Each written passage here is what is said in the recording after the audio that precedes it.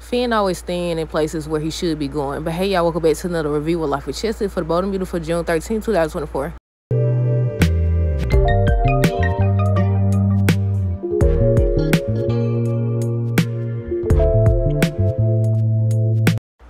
Okay, so I guess we're gonna start with Finn. So look, I said he always stand, he over here sipping tea and stuff. Then she said she gave him tea or something. I see you over here sipping tea. I see you already ain't supposed to be there. I understand he came there to check on Beth to get her the medicine, all that good stuff. That's understandable. But after you did all that, you supposed to be head out, going on. What SpongeBob? That SpongeBob mean say, all right, I'm head out. But okay, on today's episode, let me see. Hope was still talking about how Steffy treats Finn this type of way. She's not treating him right or whatever. I just think he's so amazing. All this other extra stuff she be doing. She ends up telling her mom how she doesn't think that Finn is happy with Steffy. I said, Brooke started trying to tell her. Look, at first I didn't peep game, y'all. I didn't understand where they was going with this whole Beth situation until Brooke had left and uh, Beth came out of there and she was like, she gonna call the doctor or see can she get an appointment or something. She said, and I said, oh, this how you gonna end up over there. But do y'all really think that they gonna be kissing and all this other stuff? do y'all think she gonna be fantasizing again? What are y'all thoughts coming down below?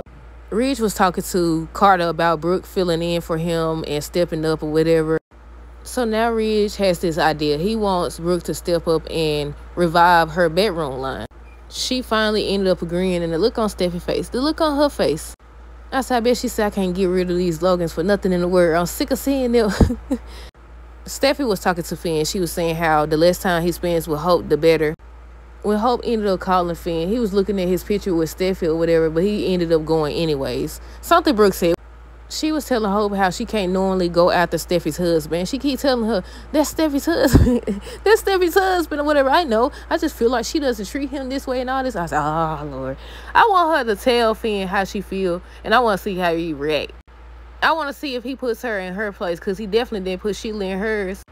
But at this point, I think they're just trying to break up Steffy and Finn anyways. I said, you don't need no excuse to because they was never going to last anyways. But after he helped, I think I already said this part, but yeah, after he helped Beth and gave her medicine, she went, put her to bed or whatever, came back out. She had gave him some tea. And he was just standing up there. He was just standing up there. But on that preview, on Friday's episode, they showed a preview and I think Hope had told Finn that she can't stop thinking about him. And then that's when they started kissing or whatever. But will it be another fantasy? Or will it really happen this time? But yeah, I said every time you see him, he doing something he ain't got no business doing. He's staying when he should be going. You done did what you supposed to be did. Okay, get up out of there. Get up out of there.